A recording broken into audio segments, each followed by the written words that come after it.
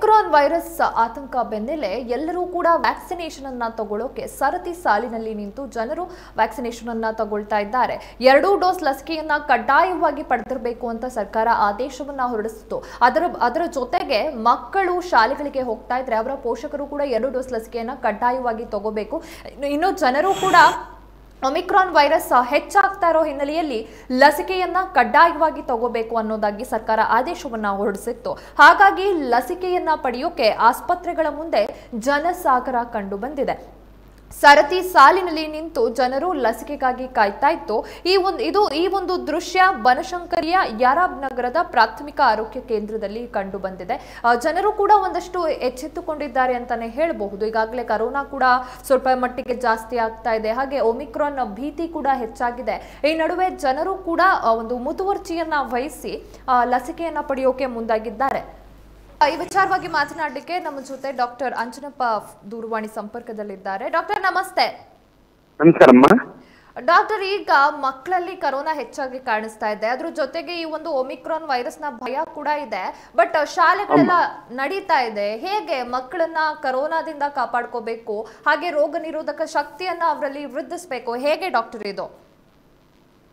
ಈಗ ಎರಡು ವರ್ಷದಿಂದ ನಮಗೆ ಸಾಕಷ್ಟು ಅನುಭವ ಆಗಿದೆ. ಈ ಕೊರೋನಾ ವೈರಸ್ ರೂಪಾಂತರಗೊಳ್ಳೋದು ಅದರ ಗುಣ. ಬಟ್ ಅದ್ರಿಗೆ ಎದುರಿಸ್ಬೇಕಾದ್ರೆ ನಮ್ಗೆ ಮೂರೇ ಮಾರ್ಗ ಇರೋದಮ್ಮ. ಪ್ರಿವೆನ್ಷನ್ ಅಂತೀವಿ ನಾವು. ಅದಕ್ಕೆ ಮೂರೇ social distancing hand washing and mask ಇದು ಬಿಟ್ರೆ ಬೇರೆ ಮಾರ್ಗನೇ ಇಲ್ಲ. ಶಾಲೆಗಳು ನಡೀಲಿಮ್ಮ. ಮಕ್ಕಳು ಬಹಳ ಡಿಸಿಪ್ಲೈನ್ ವೇ ಒಳಗೆ ಮಾಸ್ಕ್ ಹಾಕೊಂಡು ಅವರು ಸ್ಯಾನಿಟೈಸರ್ ಯೂಸ್ ಮಾಡಿದ್ರೆ ಇದೇನು ಅಂತ ಆತಂಕಕಾರಿ ವೈರಸ್ ಅಲ್ಲಮ್ಮ ಇದು. ಇದು ಅಂತ ಆತಂಕಕಾರಿ ಎಲ್ಲೋ ಒಂದ್ ಕಡೆ ನಮ್ಗೆ ಭಯ ಬೀಳಿಸೋದು ಮೂರನೇ ಅಲೆ ಮಕ್ಕಳಿಗೆ ತುಂಬಾ ಬಂದ್ಬಿಡುತ್ತೆ. ಇದು ಹಂಗಲ್ಲ. ಯಾವುದೇ ವಯಸ್ಸಿನವರಿಗೂ ಬೇಕಾದ್ರೆ ಈ ಮೂರನೇ ಅಲೆಯ ವೈರಸ್ ಅಟ್ಯಾಕ್ ಆಗ್ಬೋದು. ಬಟ್ ನಮ್ಗೆ ಬಂದಿರೋ ಇನ್ಫಾರ್ಮೇಶನ್ ಪ್ರಕಾರ ಸೌತ್ ಆಫ್ರಿಕಾದಿಂದ ಒಬ್ಬ ಡಾಕ್ಟರ್ ಮಾತಾಡಿದ್ರು ನಾನು ಕೋಟ್ ಮಾಡ್ತೀನಿ.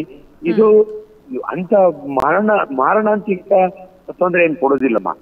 ತುಂಬಾ ಬಾಡಿ ಪೇನ್ ಇರುತ್ತೆ ಮೈಕೈ ನೋವು ಇರುತ್ತೆ ಸೇಮ್ ಜ್ವರ ನೆಗಡಿ ಇದ್ದು ಸೊ ಆದ್ರಿಂದ ದಯವಿಟ್ಟು ತುಂಬಾ ಎದುರುಕೊಳ್ಳಕ್ ಹೋಗ್ಬೇಡಿ.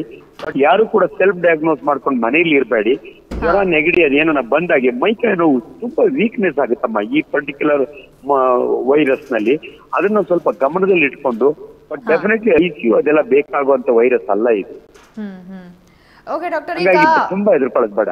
ಓಕೆ ಆ ಲೈಕ್ ದೊಡ್ಡವ್ರಿಗೆ ಹದಿನೆಂಟು ವರ್ಷ ಮೇಲ್ಪಟ್ಟವ್ರಿಗೆ ಲಸಿಕೆ ನೀಡಿದ್ದಾರೆ. ಎರಡು ಡೋಸನ್ನ ವ್ಯಾಕ್ಸಿನೇಷನ್ ತಗೊಂಡಿದ್ದೀವಿ. ಹಾಗಾಗಿ ಸ್ವಲ್ಪ ಮಟ್ಟಿಗೆ ಒಮಿಕ್ರಾನ್ ಭೀತಿ ಇರ್ಬೋದು ಕರೋನಾ ಭೀತಿ ಇರ್ಬೋದು ಸ್ವಲ್ಪ ಮಟ್ಟಿಗೆ ದೊಡ್ಡವರಿಗೆ ಕಡಿಮೆ ಇದೆ.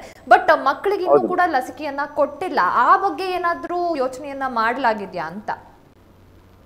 ಅದು ಇಂಪಾರ್ಟೆಂಟ್ ಅಮ್ಮ. ಆಕ್ಚುಲಿ ಯಾವುದೇ ಒಂದು ವೈರಲ್ ಸಾಂಕ್ರಾಮಿಕ ಕಾಯಿಲೆಯಲ್ಲಿ ವ್ಯಾಕ್ಸಿನ್ ಬಹಳ ಇಂಪಾರ್ಟೆಂಟ್ ಅನ್ಫಾರ್ಚುನೇಟ್ಲಿ ಮಕ್ಕಳಿಗೆ ಇನ್ನೂ ಪೂರ್ತಿ ವ್ಯಾಕ್ಸಿನೇಷನ್ ಆಗಿಲ್ಲ. ನಾನು ಎರಡು ಡೋಸ್ ತಗೊಂಡಿದ್ದೀನಮ್ಮ ಆಸ್ ಅನ್ ಅಡಲ್ಟ್ ಯಾರು ವ್ಯಾಕ್ಸಿನೇಷನ್ ತಗೊಂಡಿದಾರಲ್ಲ ಅವ್ರಿಗೆಲ್ಲೋ ಒಂದ್ ಕಡೆ ಮಾರ್ಟಾಲಿಟಿ ಅಂದ್ರೆ ಸಾವು ನೋವು ಕಡಿಮೆ. ಅದರಿಂದ ಇಟ್ಸ್ ವೆರಿ ಇಂಪಾರ್ಟೆಂಟ್ ನೀವು ಕೇಳಿದ ಪ್ರಶ್ನೆ ಮಕ್ಕಳಿಗೆ ಆದಷ್ಟು ಬೇಗ ವ್ಯಾಕ್ಸಿನೇಷನ್ ಮಾಡಬೇಕು ಅಂತ ನಮ್ಮ ಮನವಿ ನಮ್ಮ ಕಳಕಳಿ ಅಮ್ಮ. ಈಗ ವ್ಯಾಕ್ಸಿನೇಷನ್ ಇಸ್ ಸಮ್ ಪ್ರೊಟೆಕ್ಷನ್ ಅದರಿಂದ ವ್ಯಾಕ್ಸಿನೇಷನ್ ಮಾಡ್ಸೋದು ಒಳ್ಳೇದಮ್ಮ. ಹ್ಮ್. ಇನ್ನು ಮಕ್ಕಳಲ್ಲಿ ಏನಾದ್ರೂ ಒಮಿಕ್ರಾನ್ ಅಥವಾ ಕರೋನಾ ವೈರಸ್ ಕಾಣಿಸ್ಕೊಂಡ್ರೆ ಅವರನ್ನ ಯಾವ ರೀತಿ ನಾವು ಕೇರ್ ಮಾಡ್ಬೇಕಾಗತ್ತೆ ಡಾಕ್ಟರ್ ಇಲ್ಲ ಒಮಿಕ್ರಾನ್ ರೋಗ ಲಕ್ಷಣಗಳು ನಾನು ಅವಲೇ ಹೇಳ್ದಂಗೆ ಜ್ವರ ನೆಗಡಿ ಕೆಮ್ಮು ಕಾಮನ್ ಅಮ್ಮ. ಸ್ವಲ್ಪ. ಬೇಗ ವೀಕ್ನೆಸ್ ಆಗುತ್ತೆ. ತುಂಬಾ ಮಸ್ಕ್ಯುಲರ್ ಪೇನ್ ಬರುತ್ತೆ ತುಂಬಾ ಸುಸ್ತು. ಬಟ್ ಆದ್ರಿಂದ ದಯವಿಟ್ಟು ಮನೆಯಲ್ಲಿ ಹೆಲ್ಪ್ ಮಾಡಿಕೆ. ನಾವು ಮೊದಲೇ ಹೇಳಿದ್ದು ಪ್ರೋಟೀನ್ ಕೊಡಿ ಇದೆಲ್ಲ.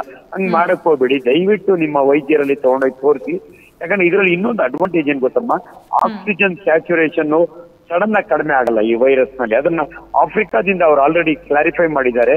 ಆಕ್ಸಿಜನ್ ಸ್ಯಾಚುರೇಷನ್ ಕಡಿಮೆ ಆಗಿ ವೆಂಟಿಲೇಟರ್ಗೆ ಹೋಗುವಂತ ಪರಿಸ್ಥಿತಿ ಈ ಮಕ್ಕಳಲ್ಲಿ ಬರೋದಿಲ್ಲ ಆದುದರಿಂದ ಮ- ತುಂಬಾ ಭಯ ಬೇಡಮ್ಮ. ನೀವು ಎಚ್ಚರಿಸ್ತಾ ಇರೋದು ಚೆನ್ನಾಗಿದೆ ಎಲ್ಲೂ ಕೂಡ ಹೆದರಿಕೆ ಬೇಡ ಅಂತ ನಾನು ಹೇಳ್ಬಲ್ಲೆ okay okay doctor. Thank you so much ನಮ್ಮ ಜೊತೆ ಒಳ್ಳೇದಮ್ಮ ಥ್ಯಾಂಕ್ ಯು ಮಾ. Thank you.